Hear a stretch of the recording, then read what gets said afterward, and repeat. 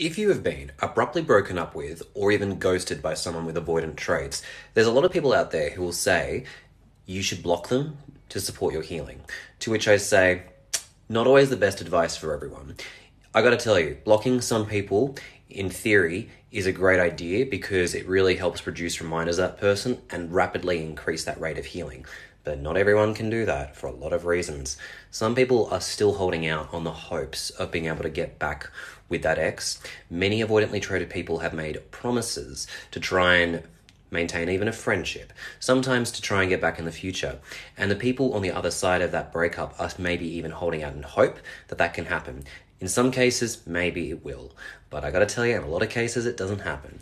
But for people to have that dream rapidly destroyed by telling them to block their ex can actually set the healing backwards. Some people need to figure out in their own time that there is no hope of getting back with these people.